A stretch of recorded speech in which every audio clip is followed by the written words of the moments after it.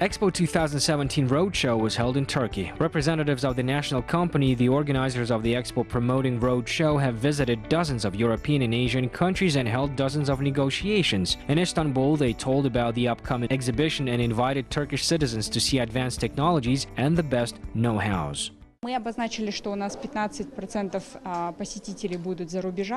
As we told 15% of Expo visitors will arrive from abroad, including European countries. We are also expecting visitors from Turkey, China, Russia and Asian countries. In general, we are expecting a certain number of tourists to come from abroad and that is why we have organized the roadshow.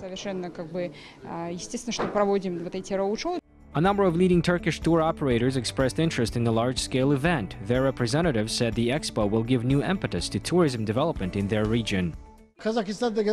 Turkish tourists mainly visit southern Kazakhstan and Samarkand. However, not only southern Kazakhstan is worth to see, there are many other beautiful places that can attract tourists. Certainly, the international exposition triggers desire to visit Kazakhstan. We are ready to offer our clients expo tours because we are confident that the event will be held successfully.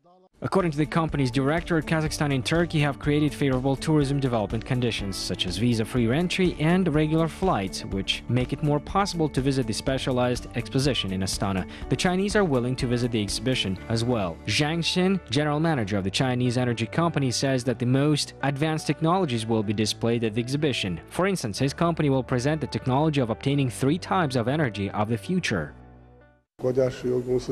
Astana Expo 2017 will help to enrich the society with new and useful developments. We want to present three new developments. The first is wind generation technology. The second is the technology of turning clay into an energy source. The third is air purification technology. The International Exhibition Astana Expo is a good opportunity for us to form a new image of the company. 115 countries and 20 international organizations have confirmed their participation in Astana Expo 2017.